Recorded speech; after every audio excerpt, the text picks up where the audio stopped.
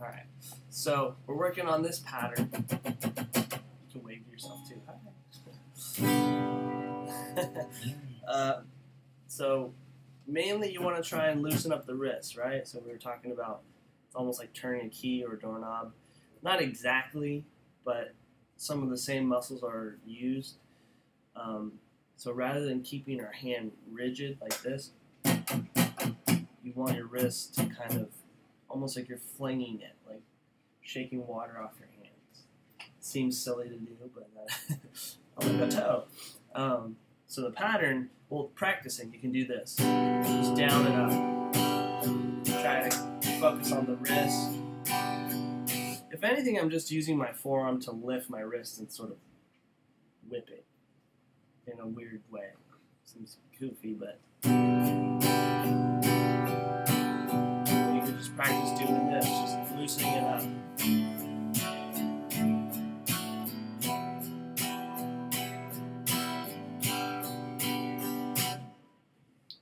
and then the pattern we had written out, it's um down, down, up, up, down, down, down, up, up, down, up, up, down. Up.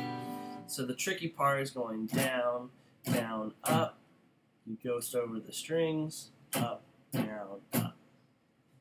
All the while, you gotta keep that wrist loose.